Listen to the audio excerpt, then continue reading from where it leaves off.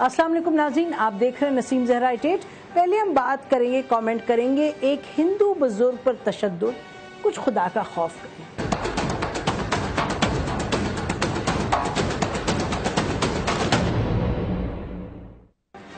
उसके बाद नाजीन, हम बात करेंगे, हम साए जो हैं हमारे, उनके साथ हमारे ताल्लुक कैसे हैं, और पाकिस्तान की जो खारजा पॉलिसी और कौमी सलामती की पॉलिसी उसके चैलेंजेस क्या हैं।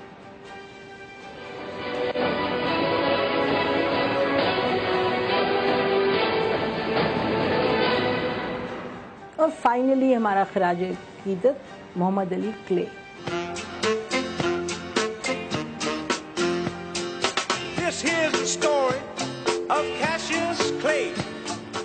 तो नाजीन ये आपने देखा होगा यकीनन आज सुबह से रिपोर्ट भी हो रहा है। हमें लगा कि हमारी ज़िम्मेदारी हम इस पर कमेंट करें।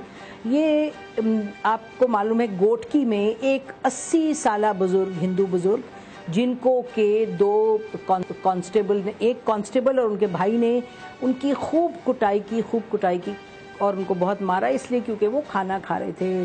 कोई कोई लोग कह रहे हैं कि चने बेच रहे थे, किसी ने कहा कि वो बिरयानी खा रहे थे, लेकिन जो भी कुछ था ये पुलिस जो कांस्टेबल हैं, उन्होंने ये बेहतर समझा कि उनको मारे। उन्होंने कहा, जी, एहतराम रमज़ान की जो है वो खिलाफ वर्जी की गई है। इस पर हम ये कहना चाहेंगे कि पाकिस्तान में लोग जो हैं, बहुत इंसान दोस्त हैं, बहुत रहम दिल हैं और बहुत खुदा खौफी इंसानियत बहुत है यहाँ। तो ये इस तरह की चीज़ें जो हैं, बड़ी गलत हैं और ये एक बुज़ुर्ग थे और इनको मानना जो था वो बिल्कुल हम कहेंगे कि जो इस्लाम की रूह से बिल्कुल हट की चीज़ है और साथ ये भी कहते चलें कि नाज़रीन ज़ाती तौर पे ये जो एहतराम रमज़ान ऑर्डिनेंस है, ये तो कानून जनरल ज़ियाउल हक ने 1981 में बना दिया उन्नीस सौ इक्यासी में। लेकिन इससे हम इतफाक़ नहीं करते, हमें मालूम है जो इस्लाम है वो किरदार के ज़ोर से जो है और प्यार मोहब्बत के ज़ोर से वो फैला है। और अगर कोई खाना खाना चाहता है रमज़ान में तो आपका और हमारा ईमान इतना कमज़ोर तो नहीं है कि उसको ठेस पहुँचे तो ये बहुत गलत हुआ। और ये भी कहते चलें कि सोशल मीडिया बहुत ही वजूहत की बिना पर इस्तेमाल होता है। It's used in different ways लेकिन एक ये जो है, असद चांडियो उनकी वजह से ये बात हम लोगों तक पहुँची और इस अब आप देख रहे हैं सोशल मीडिया पर इसका ज़िक्र हो रहा है और ये भी अच्छी बात है कि सिंध हुकूमत ने उस कांस्टेबल को पकड़ लिया और ये तो बात हमारे सामने आ गई है, लेकिन बहुत सी और जगहों में इस तरह की बात होती है। और जो कानून है और जो तौर तरीके हैं, वो तो एक रवादारी पैदा करनी चाहिए। जो इस्लाम की रूह है, उसको बढ़ाना चाहिए, ना कि इस तरह के वाक़ात हैं। उनको आगे बढ़ाना चाहिए। बट बहरहाल, अब हम चलते हैं। नाजीन, जो हमारा दूसरा टॉपिक है, जो टॉपिक है, वो पाकिस्तान की खारजा पॉलिसी के हवाले से जो चैलेंजेस हैं। ये हम कहते चलें कि पिछले हफ़्ते फॉरेन ऑफ़िस में एक मीटिंग हुई, कुछ रोज़ पहले रोज़ पहले, जहाँ तमाम जितने फॉरेन सेक्रेटरीज हैं सबका, जो कि मौजूद हैं पाकिस्तान में, उनको दावत दी गई।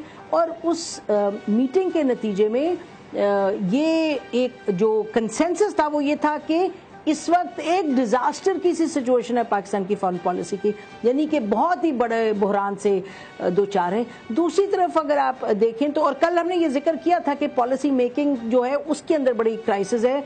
और ये कि प्राइम मिनिस्टर साहब की गैर मौजूदगी की वजह से और उनकी लीडरशिप भी नहीं मौजूद है। तो उस वजह से ये जो प्रोसेस है, एक तरफ़ हम देखते हैं कि अस्करी जो हैं ताकतें और जो आर्मी है और एजेंसीज है, जिनका रोल है इनपुट है फॉरेन पॉलिसी में नेशनल सिक्योरिटी में, एक उनकी सोच है, दूसरी तरफ़ हम देखते हैं फॉरेन ऑफ़िस की सोच है। उस सोच में एक कंसेंसस पैदा करना और एक ब्रिज पैदा करना, वो नहीं हो पा रहा। और ये, अगर ये सबका फॉरेन सेक्रेटरीज है और फॉरेन ऑफ़िस में भी ये फीलिंग है कि क्राइसिस से दो चार है पाकिस्तान की फॉरेन पॉलिसी और नेशनल सिक्योरिटी दूसरी तरफ़ हम देखते हैं और सुनते हैं कि जो अस्करी जो है क्यादत, उनका ख्याल है कि ये नेशनल इंटरेस्ट को इसी तरह प्रमोट करना है और जो मुश्किल जो वक्त है उसको हमें सहना होगा और उसको ये जो हमारी पॉलिसी है इस वक्त मुख्तलिफ़ इंडिया के हवाले से अफ़गानिस्तान अमेरिका के हवाले से ईरान के वो सही है पॉलिसी। तो इसी पर नाजरीन बात करेंगे। कल तो प्रोसेस पे बात हुई। आज अब आखिर जब एक क्राइसिस है, उस क्राइसिस से किस तरह से हैंडल किया जाए? लेकिन शुरू में हम आपको सुनाएँ जो जून 9 को उन्होंने प्रेस कॉन्फ्रेंस की और कहा कि ये हमारे गोल्स थे। तो सुनिएगा दो गोल्स की तरफ़ उन्होंने जो इशारा किया। हमें अब पीसफुल नेबरहुड चाहिए, यानी अपने ताल्लुकात बेहतर करें, चाइना, इंडिया, अफ़गानिस्तान, ईरान के साथ और अमेरिका के साथ भी ताल्लुकात को क्राइसिस जो उस वक्त था उससे निकाल कर लेकिन म्यूचुअल रिस्पेक्ट पे बेस करके।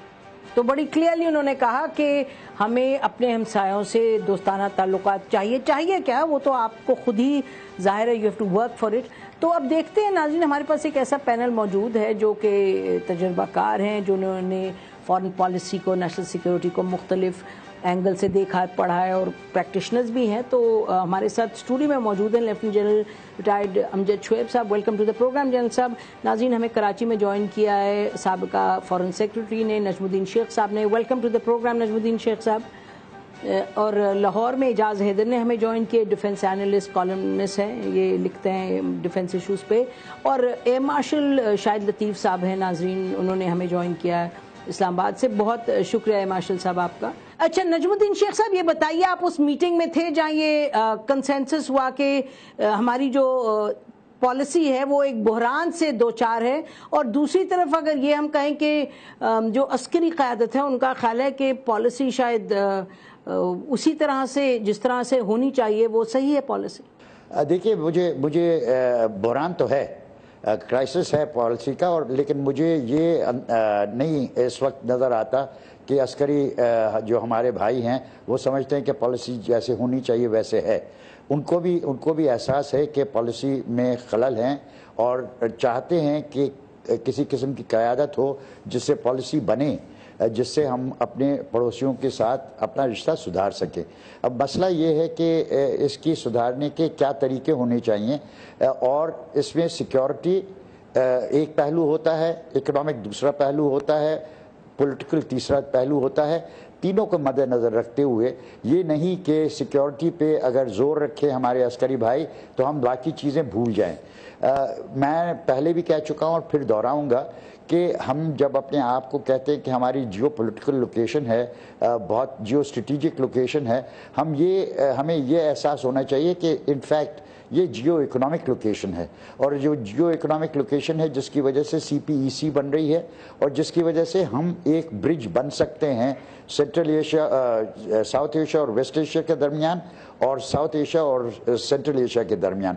और ये हमारे लिए बहुत मुफीद हो सकता है क्योंकि इस खत्े में हमें किसी किस्म की रीजनल इकोनॉमिक कोऑपरेशन बढ़ानी है। जी बिल्कुल ये मैं नहीं कह रहा कि सिक्योरिटी कंसिडरेशन को कुर्बान करते हुए ये किया जाए।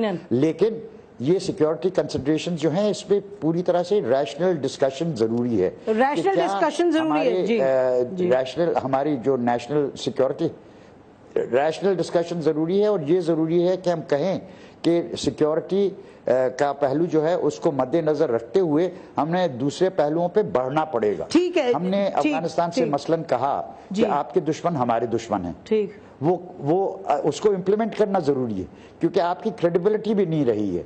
वो डिटेल्स में आते हैं वापस हम बाद में लेकिन आप, आप, आप जी जी। और जान नहीं, मैं जैन साहब, मैं ये पूछना चाह रही थी कि ये जो एक बाहर हमें खबर मिलती है कि जो जीएचक्यू में और ये जो अस्करी क्यादत है, वो दे फील के चाहे इशू पठानकोट पे जो हमें करना चाहिए, हम वही कर रहे हैं। यानी कि जैसे नेशनल इंटेलिजेंस एजेंसी इंडिया की भेजना चाहती है टीम हम कह रहे हैं, ना भेजें। लिस्टिंग के हवाले से जो इशू है, इनका जैश के जो लीडर हैं, मसूद अजहर का उस पर भी हमें जो खबर मिलती है वो कि दो अरा है जीएचक्यू की अपनी राय है और फॉरन ऑफ़िस में ये कहा जाता है कि इसको कंसिडर किया जाए रिकंसिडर किया जाए। क्या ये बात दुरुस्त है या फॉरेन ऑफ़िस और जो अस्करी क्यादत है वो एक ही तरीके से देखती है सिचुएशन रहीम देखिए फॉरेन ऑफ़िस जो है वो आ, मेरा ख्याल है गाइडेंस डायरेक्ट गाइडेंस तो वो लेता है प्राइम मिनिस्टर से जो कि फॉरेन मिनिस्टर हैं। और इनपुट जो है वो आती है जीएचक्यू से। लेकिन जहाँ से गाइडेंस मिलती है, ये ओवरऑल जहाँ आपको एक पॉलिसी की आउटलाइंस दी जाती हैं, अगर वो इन आइसोलेशन दी जाएँ और वो मैं समझता हूँ कि उसमें बहुत सारी कंसिडरेशन जो मुल्की हैं वो शामिल ना हो तो फिर आप एक पेज पे नहीं हैं। अब मिसाल के तौर पे जब हमारा, हमारी इन्वेस्टिगेशन टीम गई पठानकोट के मामले में वहाँ करने तो उन्होंने आके ये बताया कि वहाँ पे एक भी ऐसा कोई हमें एविडेंस नहीं दिखाया गया जिससे ये कहा जाए कि ये लोग पाकिस्तान से आए थे। दूसरी चीज़ है कि उनके बीएसएफ का जो कमांडर थे उन्होंने दो दिन या अगले दिन ही उन्होंने ये तस्लीम किया कि हमारे इलाके में कहीं कोई ऐसी जगह टेम्पर नहीं हुई कोई आ, हमारी फेंस या कोई चीज़ जिससे ये कहा जाए कि ये लोग क्रॉस करके आए हैं। लेकिन आपकी हुकूमत यहाँ पे उसके ऊपर कुछ इन्वेस्टिगेशन किए बगैर एक एफ़ आई आर दर्ज कर देती तो फिर देर इज़ अ डिफरेंस इन तो अप्रोच सोच में फ़र्क है। अच्छा अब, अब मैं अब मैं थोड़ा सा इसमें ऐड कर दूँ जैसे शेख साहब फरमा रहे थे। द पॉइंट इज़ के अभी शेख साहब ने ये कहा बड़े मोहतरम है फॉरेन पॉलिसी में तो हम इनके स्टूडेंट ही समझिए शागिर्द हैं हमें क्या वो चीज़ें नहीं पता लेकिन मैं सिक्योरिटी के नुकता निगाह से कह रहा हूँ। कि अफ़गानिस्तान का जो उसका आप कहते हैं कि हमने हमने कहा जी आपके दुश्मन, हमारे दुश्मन है तो वो तो बिल्कुल हमने दुरुस्त और आज भी कहते हैं। लेकिन जब उधर बैठे हुए दुश्मन जो अफ़गानिस्तान में बैठे हुए फजलुल्लाह वगैरह अगर उनके साथ वो ट्रीटमेंट नहीं है तो फिर हमें तो पहले अपने मुल्क का अमन देखना ना जी, तो वहाँ फिर हम जाके ये करें। दूसरी तरफ़ ये है कि अफ़गानिस्तान की रियलिटी ये है कि हमने उनको इंटेलिजेंस शेयरिंग का एक एग्रीमेंट दिया बॉर्डर मैनेजमेंट के एग्रीमेंट दिए। आज उनके साथ कम्युनिकेशन एडजस्टमेंट के दो साल से एग्रीमेंट वहाँ पड़ा हुआ है। उनको हिंदुस्तान अच्छा नहीं वहाँ भी प्रॉब्लम है वहाँ भी डेडलॉक है। नाजीन ब्रेक लेते हैं ब्रेक के बाद वापस आएँगे फिर अपने पैनलिस्ट के पैनलिस्ट के पास जाएँगे और यही सवाल बाकी दोनों से भी पूछेंगे कि क्या ये एक डिफरेंस ऑफ़ ओपिनियन है? अभी जो हम सुन रहे हैं वो तो लग रहा है कि दो मुख्तलिफ़ अप्रोचेज हैं जीएचक्यू की और फॉरन ऑफ़िस की। इसकी ब्रिजिंग कैसे होगी? Stay with us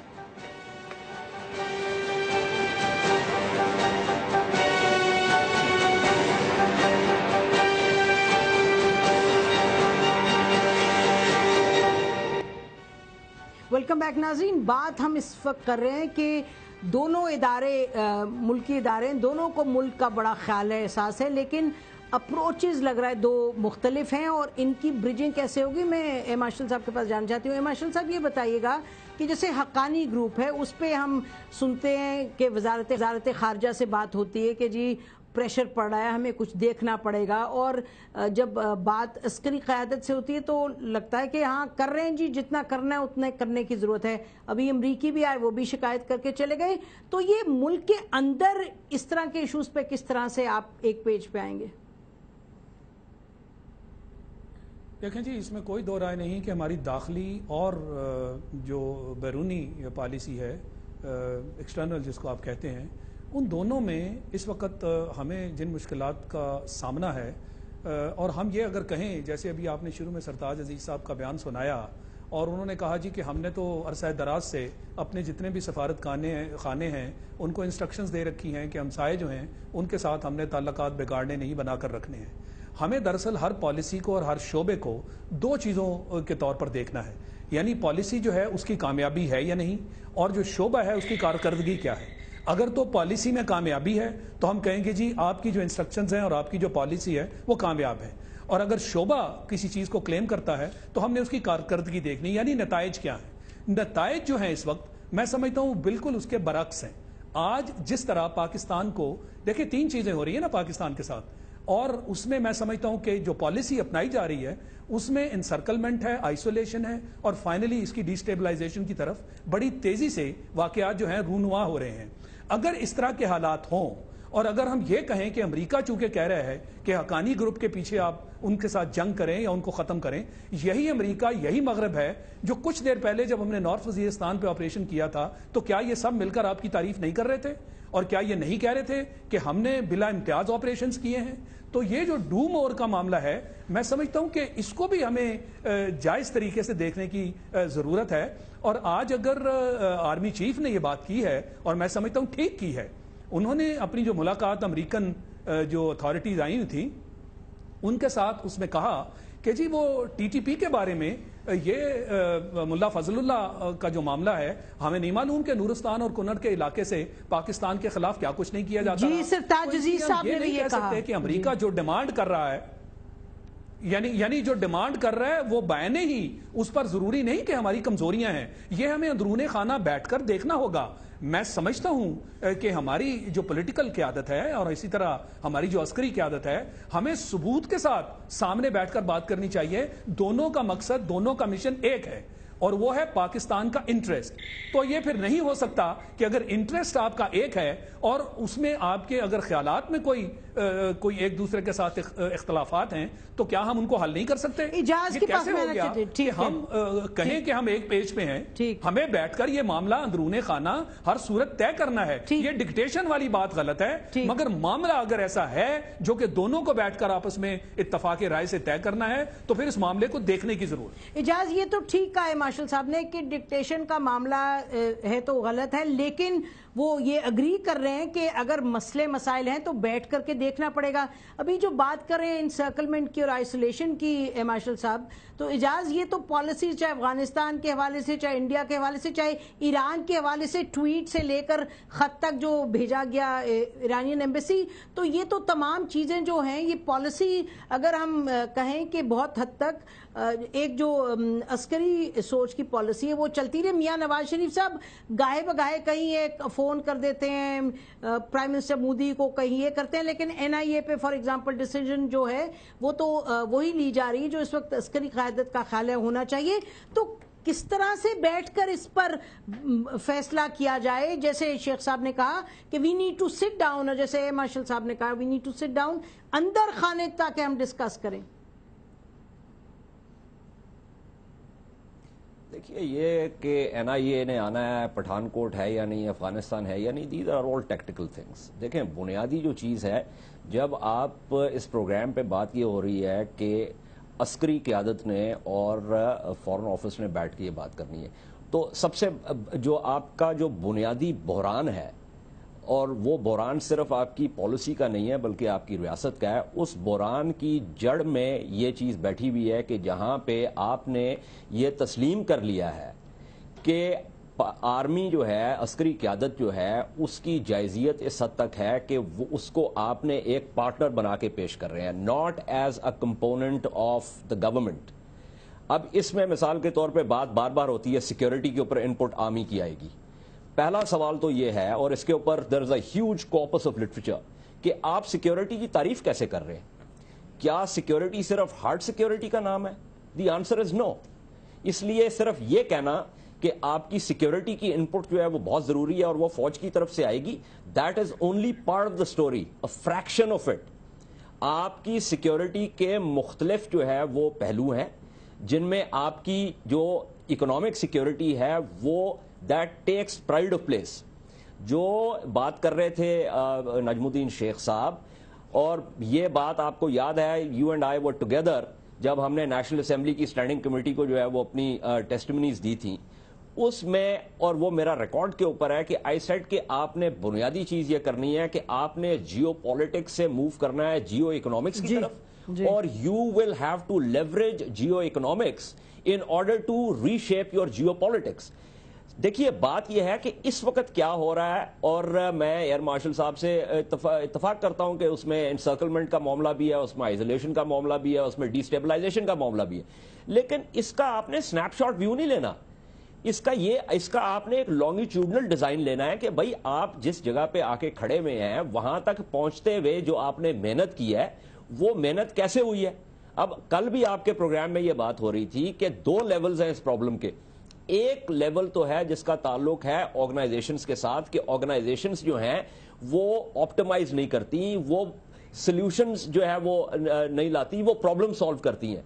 और उनकी बायस्ड सर्चेज होती हैं बिकॉज़ ऑर्गेनाइजेशन जो हैं उनकी training होती है absolutely. They are afflicted with bounded rationality लेकिन दूसरा जो प्रॉब्लम है ना जो आपकी रियासत का प्रॉब्लम है वो आपकी रियासत का problem is a praetorian military जो कि प्रीडोमिनेंट है और जब आ, जब वो पॉलिसी को फॉर्मुलेट करती है instead of simply being the input giver and implementer of the policy तो वो जो पूरा ऑर्गेनाइजेशन थियरी का जो नेगेटिविटी है ना वो आपकी पॉलिसी में रिफ्लेक्ट हाँ बिकॉज़ एजाज हम ब्रेक लेते So, हैं क्यों- एक बात जी। और मैंने ये सिक्योरिटी का नुकता और दूसरी important just just one one more point. कि नेशनल इंटरेस्ट को आप किस तरह डिफाइन करते हैं and whether interest is in is is compatible with your public interest has any one defined public interest and seen के नेशनल इंटरेस्ट और public interest का डायलेक्टिक क्या है? ठीक है। These are important ठीक है इम्पोर्टेंट इशूज इश्यूज़ है नाजरीन लेकिन हम ये फिर से रिपीट करेंगे और ये जहाँ तक फॉरन ऑफ़िस और अस्करी क्यादत का ताल्लुक है पाकिस्तान की यही बात जो इजाज कह रहे हैं तारीख भी हमारी है। अगर प्रिटोरियन है तो फिर अफगान जिहाद भी रहा है और मिलिटराइजेशन हुई है हमारी सिक्योरिटी पॉलिसी की और फॉरन पॉलिसी की, जिसके नतीजे में फौज का जो इनपुट है वो क्रिटिकल हो जाता है और foreign office they are both partners लेकिन इसमें मिसिंग क्रिटिकल मिसिंग लिंक है।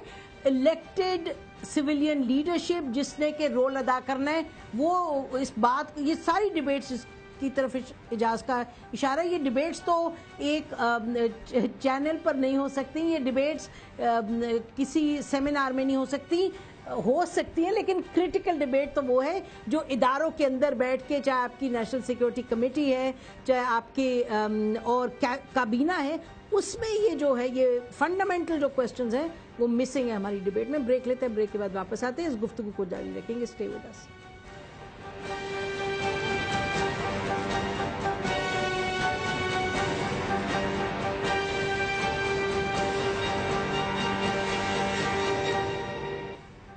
तो नाजिम पॉलिसी जब हम नहीं बनाते सही किस्म की और नहीं बनाते चले जाते रिपेटिटिवली तो फिर आपको कुछ इस तरह के सरप्राइजेज मिलते हैं। हम ये सुनिएगा, मोदी साहब क्या कह रहे थे अमेरिकन कांग्रेस को जब एड्रेस किया उन्होंने। In the territory stretching from west of India border of up to Africa it may go by different names from Lashkar Taiba to Taliban to ISIS refusing the reward them is the first step towards holding them accountable for their actions. The need of the hour is for us to deepen our security cooperation that isolates those who harbor, support, and sponsor terrorists. America भी हमारा दोस्त है हिंदुस्तान से हमारी कोशिश है बातचीत करें मोदी साहब कह रहे हैं कांग्रेस में कि बड़ा अच्छा किया एफ़ सिक्सटी ने दिए बहुत अच्छा किया, सजा दी जा रही पाकिस्तान को।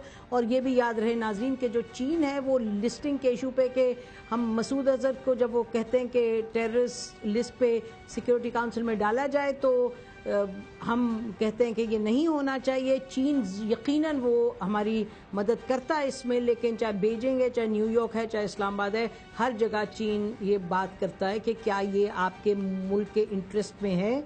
पॉलिसी यानी जी जैन साहब ये जो इजाज ने रेज किए इशूज बड़े फंडामेंटल मैं पहली बात तो ये कहना चाहता हूँ कि नेशनल इंटरेस्ट जो है उस पर कोई डेफिनेशन में टेक्निकल को फ़र्क हो सकता है लेकिन ये कोई ऐसी बड़ी चीज़ नहीं है कि आम आदमी समझते नहीं कि कौमी मुफादात क्या है सिर्फ़ प्रायरिटीज का फ़र्क हो सकता है। अगर मिसाल मिसाल के तौर जैसे उन्होंने खुद ही कहा कि किसी वक्त में माशी आपका जो सोच है कि जी ये मामला हों या ये वेलफेयर की चीज़ें की जाएँ तो वो प्रायोरिटी हो सकती है। किसी वक्त आपके सिक्योरिटी मामला माशी तो हमेशा होती है लेकिन सिक्योरिटी को अंडरमाइन नहीं कर सकते। ये कम्प्लीमेंट्री है ना एक दूसरे बाजुकात हम ये सोच जैसे अभी सिक्योरिटी का इशू था जब यहाँ पे टेररिज्म था तो माशियात किधर थी? इन्वेस्टमेंट आ रही थी। हर कोई रोता था कि जी पहले सिक्योरिटी ठीक करें या सिक्योरिटी कंडीशन बनाएँ। तो नेशनल इंटरेस्ट आपको बड़ा वाजे नज़र आ गया कि इस वक्त नेशनल इंटरेस्ट प्रायोरिटी ये है कि पहले मुल्क में अमन कायम किया जाए ताकि बाहर से कोई आके यहाँ काम कर सके। तो ये ऐसी होती है सिचुएशन आपके पास यूएल रही कब है? उन्नीस सौ अड़तालीस में सैंतालीस में मुल्क बना पहली जंग अड़तालीस में हो गई। फिर आपके उसके बाद कई दफ़ा इंडिया के साथ कन्फ्रंटेशन हुई। टिल सिक्सटी फाइव की वॉर हुई। टिल सेवेंटी वन हुई।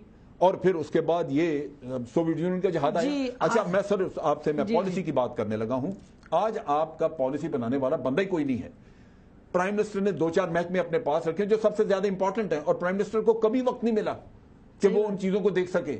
और हमारी हिस्ट्री में पार्लियामेंट का कोई रोल है?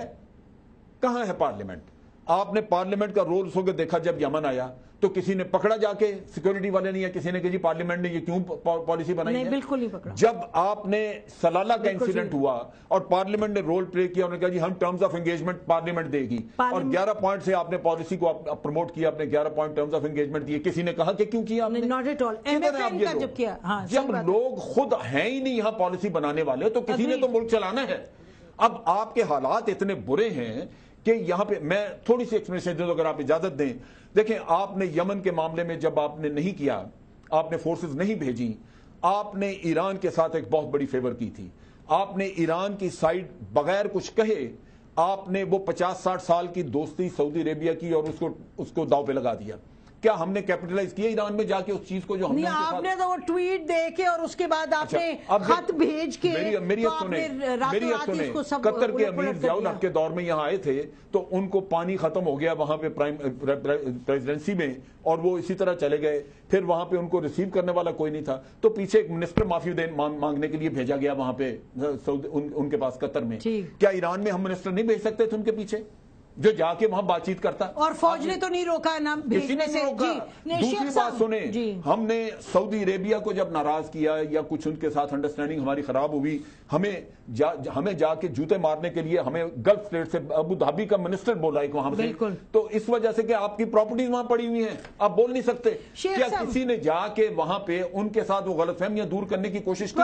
ये चीफ ऑफ़ आर्मी स्टाफ का काम था। मैं आपको कसमिया बताता हूँ कि नवाज़ शरीफ साहब के साथ जो जाके सऊदी अरेबिया और ईरान का जो दौरा किया ये राहील शरीफ उनको धक्का लगा के लेके गया। वरना इनके वहम गुमान में नहीं था ये जाते नहीं थे। शेख साहब ये बताइएगा कि आपने जैन साहब की बहुत ही भरपूर यानी कि defence of the arm forces वो कह रहे हैं जी रोक कौन रहा है आपको? हाँ जज्बाती भरपूर। ने कहा कि रोक कौन रहा है आपको? तो आप जो सिचुएशन आज देखते हैं क्योंकि बहुत से इश्यूज़ हैं चाहे हकानी ग्रुप है चाहे पठानकोट है ये सब इन पे तो एक फौज की पोजीशन ज़रूर है लेकिन जन सब कह रहे हैं कि आप कोई पोजीशन ऑल्टरनेटिव लेके तो आए तो या तो एक खला है इस वजह से ये सिचुएशन है। Do you agree with that बिल्कुल। देखिए आई एग्री खला का तो बहुत बड़ा मसला है लेकिन मैं सिक्योरिटी के सिलसिले में भी अब एनडीयू में जब मैं जाता हूँ तो बात होती है कॉम्प्रिहेंसिव सिक्योरिटी और कॉम्प्रिहेंसिव सिक्योरिटी में सर फहरिस्त न सिर्फ़ टेरिटोरियल सिक्योरिटी है लेकिन ह्यूमन सिक्योरिटी है। इकोनॉमी ऑब्वियसली इकोनॉमी आप आपने मुल्क बनाया था so that the Muslims of South Asia could live and exploit their full economic potential. तो उनको मौका अगर नहीं मिलेगा, अगर आपकी अंदरूनी सूरत हाल ये रहेगी और इसकी वजह से आपकी जो जो मशकूक रिश्ते होंगे अपने नेबर्स के साथ और सोल सुपर पावर के साथ तो फिर आपकी ये जो आपने चाही थी, जिसके लिए आपने पाकिस्तान बनाया था उस तक आप पहुँच नहीं सकेंगे। दूसरी चीज़ जो अभी जनरल साहब ने कही and I agree with him कि हमें हमें पहली चीज़ करनी थी, और मैंने ये एक मरतबा नहीं, दस मरतबा कहा, कि हमारी रवायती पॉलिसी ये रही है कि मुसलमानों के में अगर किसी किस्म का फ़र्क होगा तो हम उसमें कोई, किसी एक एक तरफ़ एक या दूसरी तरफ़ हिस्सा नहीं लेंगे। हमारी कोशिश रहेगी कि जो भी इख्तलाफात हैं उनको दूर किया जाए। लेकिन दूर करने के लिए ख़ास तौर पे ईरान और सऊदी अरेबिया जो कि दोनों हमारे दोस्त हैं एक हमारा पड़ोसी है जिससे हमारे इकतसादी ताल्लुक बढ़ाना हमारे लिए अहम ज़रूरत है। आप अ, उनके उनके लिए जाके आपको कोशिश करनी चाहिए थी इसलिए नहीं क्योंकि राहिल शरीफ साहब ने आपको धक्का दिया लेकिन चूँकि ये आपकी फॉरेन पॉलिसी का एक अहम नुकता होना चाहिए। और ये अहम नुकते में आपको कयादत दिखानी ज़रूरी थी। अच्छा ये दूसरी चीज़ अब जी। जब हम कहते हैं कि साहब हम पे डू मोर वगैरह हो रहा है आप डू मोर वगैरह को छोड़ दे। आप अपनी अपनी इंटरनल सिचुएशन पे देखिए कि क्या लश्कर तैयबा जैश मोहम्मद हकानी ग्रुप इनकी इनकी मैं ये नहीं कह रहा कि आप सरपरस्ती, लेकिन इनकी यहाँ पे जो जो एग्जिस्टेंस है अगर जहाज़ डिफेंस काउंसिल आके कहती है कि हमें ये करना चाहिए ये करना चाहिए तो क्या ये ये पाकिस्तान के मफाद में है? जी ब्रेक लेते हैं। जी को क्वेश्चन जी के मफाद में है। जी मुझे नज़र नहीं आता। इंपॉर्टेंट क्वेश्चन नाजीर के बाद आएँगे वापस फिर हम इजाज हैदर के पास जाएँगे और इजाज से ये सवाल कहेंगे कि जो पाकिस्तान की माजी की तारीख रही है और अस्करी जो एक डोमिनेंस रही है पॉलिसी मेकिंग पे वो सब अपनी जगह है लेकिन आज जहाँ हम खड़े हैं तारीख को बाला ताक रखते हुए, जहाँ आज हम खड़े हैं, इसमें आगे बढ़ने के लिए हम किसकी तरफ़ देखें? और अगर ये तो हम नहीं कह सकते कि कोई भी ऐसी पॉलिसी बनाई है इस हकूमत ने। हाँ ये ज़रूर हमें कहना पड़ेगा कि कुलभूषण यादव पर जब सिविलियन, जो जो इलेक्टेड अथॉरिटी है, जब उन्होंने ज़्यादा बात नहीं की तो फिर हमने ये भी देखा कि बहुत सी बातें निकली कि मियाँ नवाज़ शरीफ की जो फैक्ट्री है उसके अंदर रॉक है एजेंट है एक टेक्निकल बंदा वहाँ इन्वॉल्व है वो वहाँ काम कर रहे हैं। तो इस तरह के जो अंदर खाने प्रोपेगेंडे शुरू हो जाते हैं। अब अ, सच है या प्रोपेगेंडा दैट्स अनदर थिंग लेकिन फंडामेंटल क्वेश्चन ये है कि इस वक्त इजाज हैदर से पूछेंगे कि इस जहाँ खड़े इस मुम्मे को इसका हल करने का तरीका क्या है? Stay with us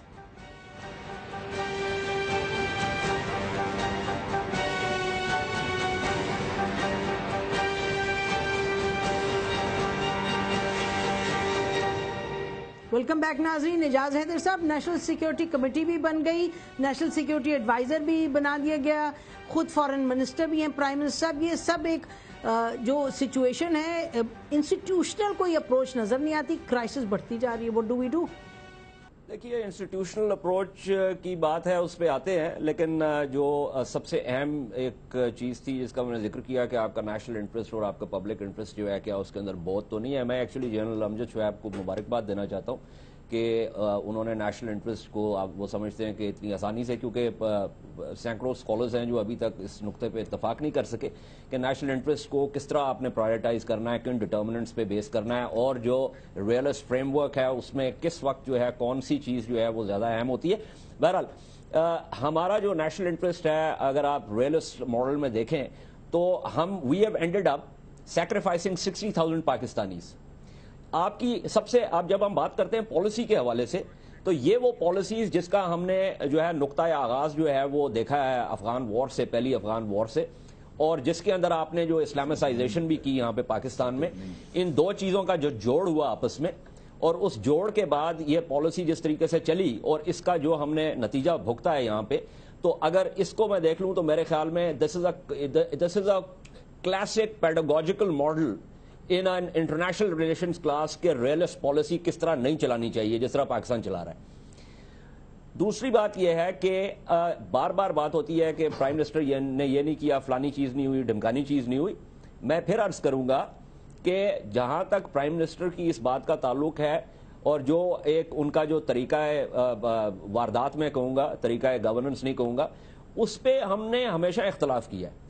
लेकिन मैं मेरा कहना यह है कि ये जो आपका मसला है गैर मरबूत पॉलिसी साजी का इसकी दास्तान जो है वो तवील है। इसका आप एक लॉन्गिट्यूडनल डिज़ाइन ले इसका आप एक स्नैपशॉट व्यू मत लें। तो इजाज अब क्या करें? वो तो ठीक है ना। है लेट्स फोकस ऑन फलाने को धक्का मारा पार्लियामेंट की। नहीं इजाज अब क्या करें? देखे ना आपका point so it's a very simple, it's a very simple thing. I, I'll ask you a very simple question.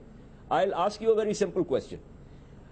Who is, uh, who has thrown a spanner in the works when it comes to opening trade with India, अच्छा which ये will take you to the level of investment? अच्छा तो ये ये ठीक है ए- ए- एक और चीज़। अभी जो बात अभी जो बात की नजमुद्दीन शेख साहब ने आपने जो क्लिप प्ले किया मोदी साहब की तकरीर का जिसमें लश्कर तैयबा और ये सारा सारी जो बात हुई। तो नजमुद्दीन शेख साहब ने तो कहा कि मैं कहूँगा कि सरपरस्ती नहीं है मैं तो आपके प्रोग्राम पे बिल्कुल वाजे तौर पे कह रहा हूँ कि बिल्कुल सरपरस्ती है।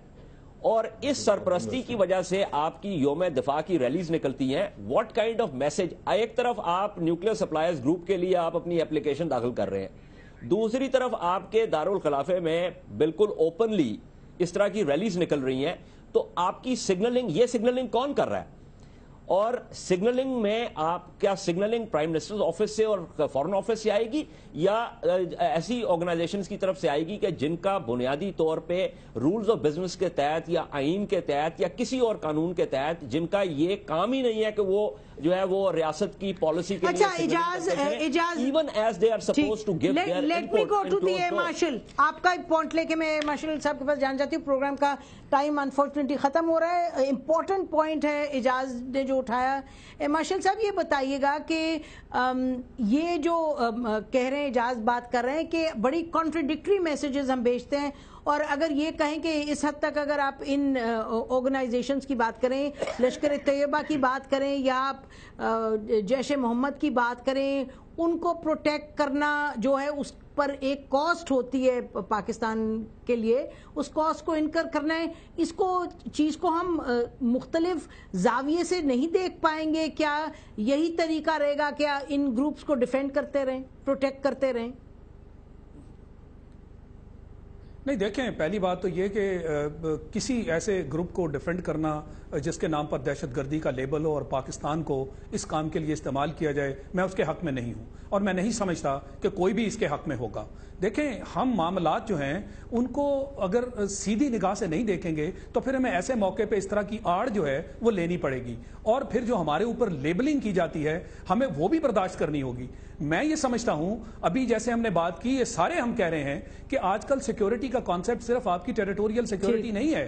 उसमें ह्यूमन सिक्योरिटी इकोनॉमिक सिक्योरिटी एक बहुत इंपॉर्टेंट रोल प्ले करती है। मैं इससे भी एग्री करता हूँ कि हमारे मुल्क में मुझे आज तक कोई ऐसी डॉक्यूमेंट नज़र नहीं आई जो कि नेशनल पॉलिसी को सही तरह से डिफाइन करती हो। आपको मालूम है कि नेशनल पॉलिसी जो है, वही तो मेन गाइडलाइन है, जिसके तहत आपकी सिक्योरिटी पॉलिसी डिफेंस पॉलिसी जिसके तहत trade policy economic policy education policy वो सारी पॉलिसीज़ वहाँ से बनती हैं। और अगर हमने यही आज तक ये ये जो है, गवारा नहीं किया कि आपका नेशनल नेशनल इंटरेस्ट और मैं इस बात से बिल्कुल इस बात से इसकी तायद करता हूँ जो एजाज हैदर साहब ने कही कि नेशनल इंटरेस्ट नेशनल पॉलिसी ये एक कॉम्प्लिकेटेड सब्जेक्ट है इसमें स्पेशलिस्ट की ज़रूरत है इसको डिफाइन करना एक्सप्लेन करना बहुत ज़रूरी है और इस तरह के रेफरेंसेस हमारे पास नहीं है। और अगर आज ही हम ये देखें कि ये पॉलिसी हम इकोनॉमिक्स की बात तो कर सकते हैं मगर जो हमारे अंदरूनी हालात हैं वही इकोनॉमिक्स को डिफाइन करते हैं। तो दादो शुमार के तहत हम जी जी प्रोग्राम का टाइम अनफॉर्चुनेटली खत्म और, और ये जी आई एम वेरी सॉरी आप लोगों का बहुत बहुत शुक्रिया नाजीन।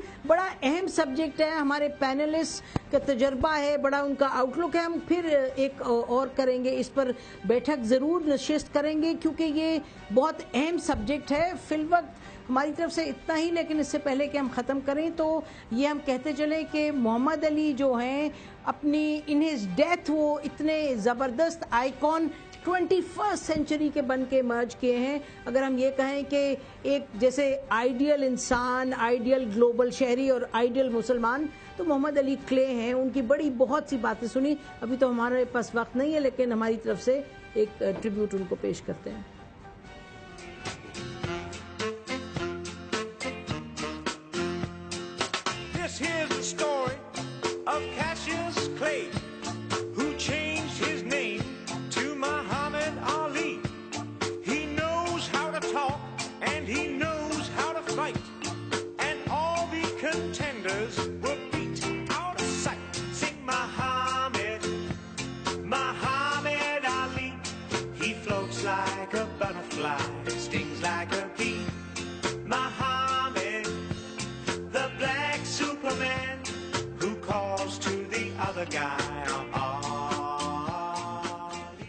नाजीन प्रोग्राम आज का ख़त्म। इधर ही करते हैं। खुदाफिज पाकिस्तान जिंदाबाद।